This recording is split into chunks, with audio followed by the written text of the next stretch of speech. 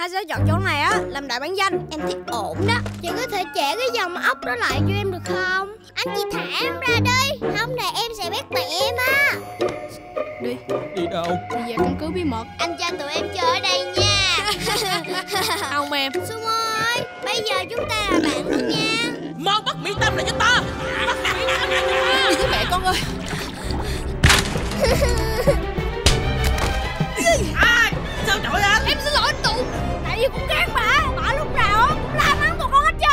khỏi đây ngay. Biến đi giùm ông. Quyết định rồi.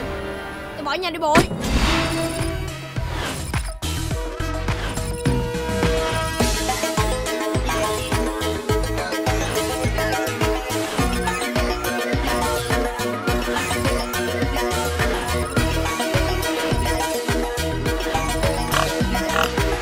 Khu vừa bí mật phát sóng 19